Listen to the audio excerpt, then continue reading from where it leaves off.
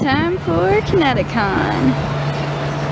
Hello there, um, Spufflez here is Izzy from Digimon Adventure. I just got out of a panel. Um, I decided to swing by ConnectiCon this year since I do live in the area. I'm not going to be here tomorrow, but I decided since I was free today, why not go to the convention and look around a bit. So I'm going to vlog a little bit today. I might be here on Sunday, but haven't decided yet. I'm super duper excited for the Digimon Frontier panel yesterday. I just checked out the schedule and I saw it was on there, so I was like, oh my god, I definitely have to check this out. But yeah, just doing Izzy today and got my little swag glasses on and I'm ready to look around the dealer's room. Hello, it's Spufflez here is Izzy from Digimon Adventure. I took off my gloves so I can open this blind box that I got in the dealer's room. I got a Kemono Friends one and I'm hoping to get Serval, which is the main character in the show. Um, they have all of the characters back here that you can get and it's a blind box so it's randomized and I'm not sure which one I'm going to get so uh, let's open this up and let's hope that the tape isn't super hard to open up. Oh, that was pretty easy. Alright. Give me a serval. Give me a serval. What did I get? What did I get? Oh, I got little otter. She's so cute. I love opening up blind boxes. They're always so much fun. I'm gonna put her on my keychain because she's really cute.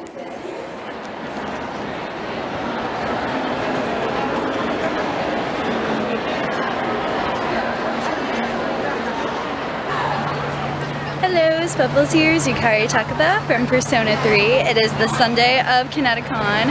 I was busy yesterday, but I decided to stop by the convention today. I'm gonna walk around to the dealer's room, um, probably get a few things, get some lunch, um, take a lot of cosplay photos since there's more cosplayers here today than there was on Friday, and I'm gonna see if I can um, say hi to any of my friends. I know not too many people that I know go to ConnectiCon, but we'll see.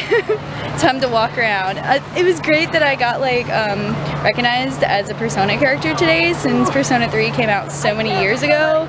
Someone else called me the brown-haired character from Hero Academia, but it's okay. it's okay. I know this game is super old, but hopefully I'll run into some more Persona fans today.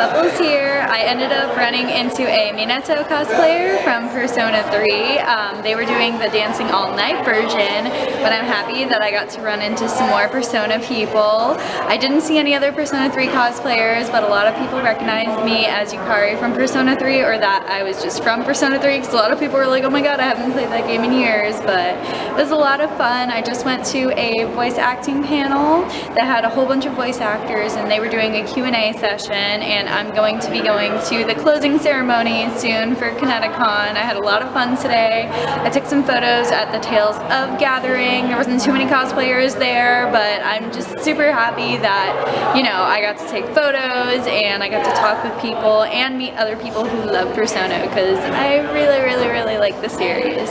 Yeah, I'm gonna walk around and I might take like, you know, like a panoramic video of the convention center, but I hope you guys enjoyed my short but sweet ConnectiCon vlog. Goodbye ConnectiCon, see you next summer.